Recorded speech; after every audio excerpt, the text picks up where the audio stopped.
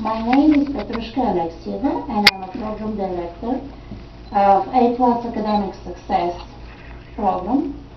And believe me, as a guest lecturer, I push my students not only to do writing, but to do good writing and not to do text messaging.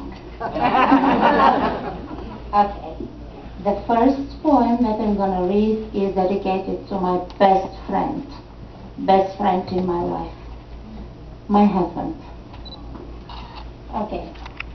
Be silent. Tell me you love me with no words, with no sound. Just love me. With your hands, with your eyes, with your smile. Don't miss the moment. I will be silent. I will listen to your heart. Don't tell me you love me. I already know. That's all. Just be silent. the second is don't clean the dust.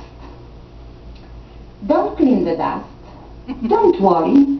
Tomorrow will be the same. Today is a beautiful day. Just go out with a friend.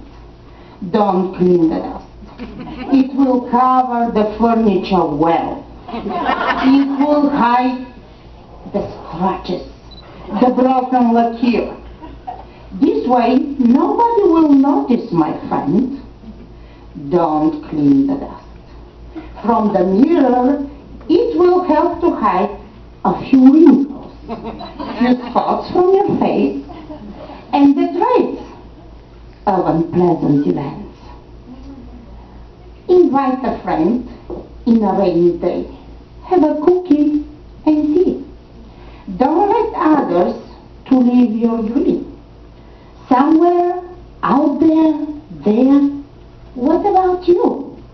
Trust me. Don't clean the dust. Believe me.